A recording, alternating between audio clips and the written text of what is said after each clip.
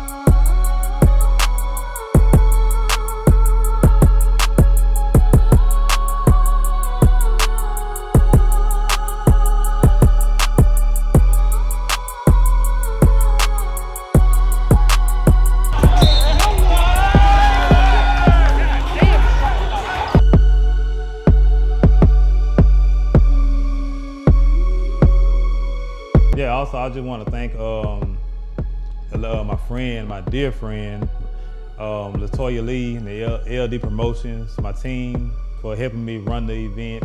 Um, everybody just involved, uh, Craig Events, uh, my brother Three Feet, DJ Teddy B, um, just everybody that came out and just wanted to be a part of the movement, that who believed in me. I just I thank y'all. Thank y'all. Big love.